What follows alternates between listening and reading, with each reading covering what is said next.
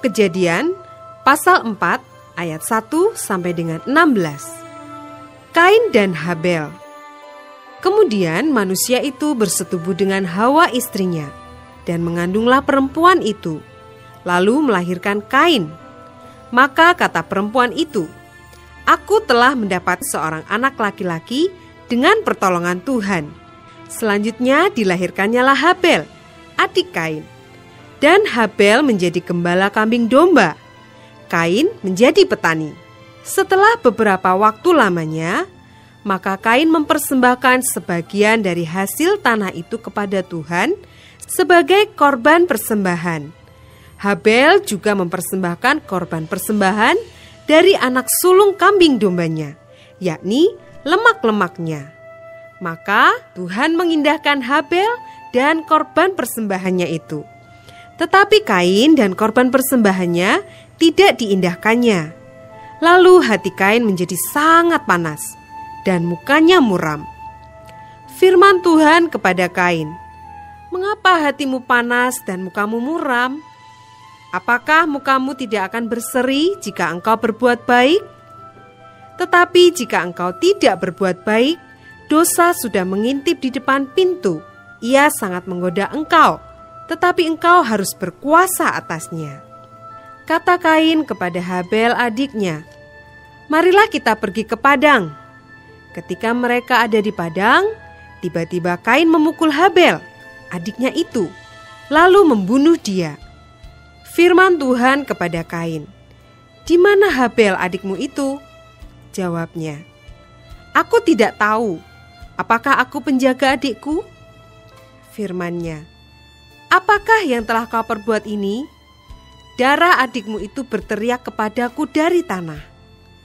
Maka sekarang terkutuklah engkau, terbuang jauh dari tanah yang mengangakan mulutnya untuk menerima darah adikmu itu dari tanganmu. Apabila engkau mengusahakan tanah itu, maka tanah itu tidak akan menghasilkan hasil sepenuhnya lagi kepadamu. Engkau menjadi seorang pelarian dan pengembara di bumi. Kata Kain kepada Tuhan, hukumanku itu lebih besar daripada yang dapat kutanggung. Engkau menghalau aku sekarang dari tanah ini, dan aku akan tersembunyi dari hadapanmu, seorang pelarian dan pengembara di bumi. Maka barang siapa yang akan bertemu dengan aku, tentulah akan membunuh aku. Firman Tuhan kepadanya, sekali-kali tidak. Barang siapa yang membunuh Kain, akan dibalaskan kepadanya tujuh kali lipat. Kemudian Tuhan menaruh tanda pada Kain, supaya ia jangan dibunuh oleh barang siapa pun yang bertemu dengan dia. Lalu Kain pergi dari hadapan Tuhan, dan ia menetap di tanah Not, di sebelah timur Eden.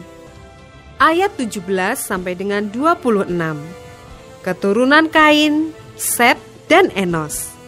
Kain bersetubuh dengan istrinya, dan mengandunglah perempuan itu, lalu melahirkan Henoh. Kemudian Kain mendirikan suatu kota dan dinamainya kota itu Henoh menurut nama anaknya. Bagi Henoh lahirlah Irat, dan Irat itu memperanakan Mehuyael. Dan Mehuyael memperanakan Metusael. Dan Metusael memperanakan Lamek. Lamek mengambil istri dua orang, yang satu namanya Ada yang lain Zila. Ada itu melahirkan Yabal. Dialah yang menjadi bapak orang yang diam dalam kemah dan memelihara ternak. Nama adiknya ialah Yubal. Dialah yang menjadi bapak semua orang yang memainkan kecapi dan suling. Zila juga melahirkan anak, yakni Tubal Kain. Bapak semua tukang tembaga dan tukang besi. Adik perempuan Tubal Kain ialah Naamah Berkatalah Lamek kepada kedua istrinya itu, Ada dan Sila, dengarkanlah suaraku, hai istri-istri Lamek. Pasanglah telingamu kepada perkataanku ini. Aku telah membunuh seorang laki-laki karena ia melukai aku. Membunuh seorang muda karena ia memukul aku sampai bengkak.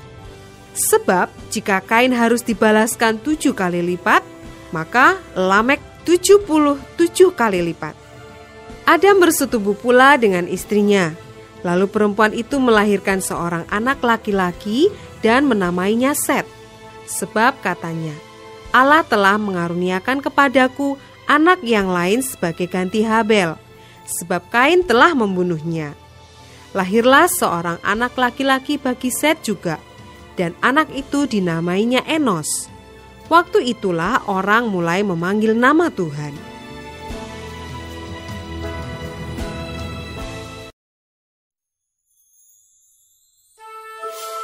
Kejadian pasal 5 ayat 1 sampai dengan 32. Keturunan Adam. Inilah daftar keturunan Adam. Pada waktu manusia itu diciptakan oleh Allah, dibuatnyalah dia menurut rupa Allah. Laki-laki dan perempuan diciptakannya mereka. Ia memberkati mereka dan memberi nama manusia kepada mereka pada waktu mereka diciptakan. Setelah Adam hidup 130 tahun, ia memperanakan seorang laki-laki menurut rupa dan gambarnya, lalu memberi nama Set kepadanya. Umur Adam setelah memperanakan Set 800 tahun, dan ia memperanakan anak-anak lelaki dan perempuan. Jadi Adam mencapai umur 930 tahun, lalu ia mati. Setelah Set hidup 105 tahun, ia memperanakan Enos. Dan Set masih hidup 807 tahun setelah ia memperanakan Enos. Dan ia memperanakan anak-anak lelaki dan perempuan. Jadi Set mencapai umur 912 tahun. Lalu ia mati. Setelah Enos hidup 90 tahun, ia memperanakan Kenan. Dan Enos masih hidup 815 tahun setelah ia memperanakan Kenan. Dan ia memperanakan anak-anak lelaki dan perempuan. Jadi Enos mencapai umur 905 tahun, lalu ia mati. Setelah Kenan hidup 70 tahun, ia memperanakan Mahalaleel. Dan Kenan masih hidup 840 tahun setelah ia memperanakan Mahalaleel dan ia memperanakan anak-anak lelaki dan perempuan. Jadi, Kenan mencapai umur 910 tahun, lalu ia mati. Setelah Mahalaleel hidup 65 tahun, ia memperanakan Yaret, dan Mahalaleel masih hidup 830 tahun. Setelah ia memperanakan Yaret, dan ia memperanakan anak-anak lelaki dan perempuan. Jadi Mahalaleel mencapai umur 895 tahun, lalu ia mati. Setelah Yared hidup 162 tahun, ia memperanakan Heno. Dan Yared masih hidup 800 tahun setelah ia memperanakan Heno. Dan ia memperanakan anak-anak lelaki dan perempuan. Jadi Yared mencapai umur 962 tahun lalu ia mati. Setelah Heno hidup 65 tahun, ia memperanakan Metusalah. Dan Heno hidup bergaul dengan Allah selama 300 tahun lagi. Setelah ia memperanakan Metusalah, dan ia memperanakan anak lelaki dan perempuan. Jadi Heno mencapai umur 365 tahun. Dan Heno hidup bergaul dengan Allah. Lalu ia tidak ada lagi sebab ia telah diangkat oleh Allah. Setelah Metusala hidup 187 tahun, ia memperanakan Lamek. Dan Metusala masih hidup 782 tahun setelah ia memperanakan Lamek. Dan ia memperanakan anak-anak lelaki dan perempuan. Jadi Metusala mencapai umur 969 tahun, lalu ia mati. Setelah Lamek hidup 182 tahun, ia memperanakan seorang anak laki-laki dan memberi nama Nuh kepadanya. Katanya, anak ini akan memberi kepada kita penghiburan dalam pekerjaan kita yang penuh susah payah di tanah yang telah terkutuk oleh Tuhan. Dan Lamek masih hidup 595 tahun setelah ia memperanakan Nuh dan ia memperanakan anak-anak lelaki dan perempuan. Jadi, Lameh mencapai umur 775 77 tahun, lalu ia mati. Setelah Nuh berumur 500 tahun, ia memperanakan Sem, Ham, dan Yafet.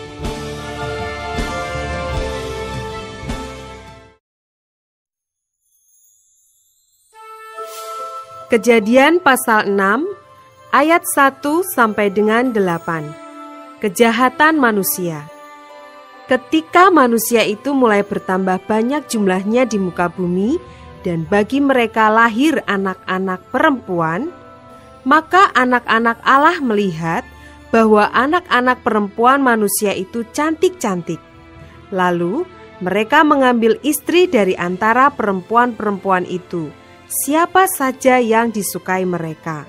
Berfirmanlah Tuhan, rohku tidak akan selama-lamanya tinggal di dalam manusia, karena manusia itu adalah daging, tetapi umurnya akan 120 tahun saja. Pada waktu itu, orang-orang raksasa ada di bumi, dan juga pada waktu sesudahnya, ketika anak-anak Allah menghampiri anak-anak perempuan manusia dan perempuan-perempuan itu melahirkan anak bagi mereka. Inilah orang-orang yang gagah perkasa di zaman purbakala, orang-orang yang kenamaan. Ketika dilihat Tuhan bahwa kejahatan manusia besar di bumi dan bahwa segala kecenderungan hatinya selalu membuahkan kejahatan semata-mata, maka menyesalah Tuhan bahwa Ia telah menjadikan manusia di bumi dan hal itu memilukan hatinya. Berfirmanlah Tuhan, Aku akan menghapuskan manusia yang telah kuciptakan itu dari muka bumi, baik manusia maupun hewan dan binatang-binatang melata dan burung-burung di udara, sebab aku menyesal bahwa aku telah menjadikan mereka. Tetapi Nuh mendapat kasih karunia di mata Tuhan. Ayat 9 sampai dengan 22. Riwayat Nuh. Inilah riwayat Nuh. Nuh adalah seorang yang benar dan tidak bercela di antara orang-orang sezamannya. Dan Nuh itu hidup bergaul dengan Allah. Nuh memperanakan tiga orang laki-laki, Sem, Ham, dan Yafet. Adapun bumi itu telah rusak di hadapan Allah dan penuh dengan kekerasan. Allah menilik bumi itu dan sungguhlah rusak benar, sebab semua manusia menjalankan hidup yang rusak di bumi. Berfirmanlah Allah kepada Nuh, Aku telah memutuskan untuk mengakhiri hidup segala makhluk, sebab bumi telah penuh dengan kekerasan oleh mereka.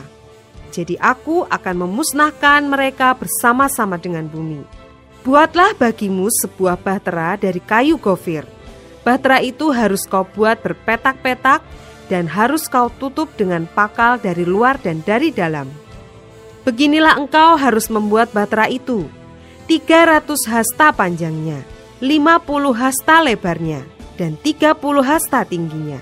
Buatlah atap pada bahtera itu, dan selesaikanlah bahtera itu sampai sehasta dari atas, dan pasanglah pintunya pada lambungnya.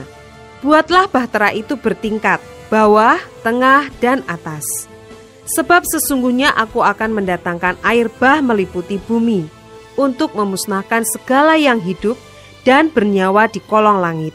Segala yang ada di bumi akan mati binasa. Tetapi dengan engkau, aku akan mengadakan perjanjianku, dan engkau akan masuk ke dalam bahtera itu. Engkau bersama-sama dengan anak-anakmu dan istrimu dan istri anak-anakmu. Dan dari segala yang hidup, dari segala makhluk, dari semuanya, haruslah engkau bawa satu pasang ke dalam batra itu, supaya terpelihara hidupnya bersama-sama dengan engkau. Jantan dan betina harus kau bawa. Dari segala jenis burung dan dari segala jenis hewan, dari segala jenis binatang melata di muka bumi, dari semuanya itu harus datang satu pasang kepadamu, supaya terpelihara hidupnya. Dan engkau Bawalah bagimu segala apa yang dapat dimakan. Kumpulkanlah itu padamu untuk menjadi makanan bagimu dan bagi mereka. Lalu Nuh melakukan semuanya itu, tepat seperti yang diperintahkan Allah kepadanya, demikianlah dilakukannya.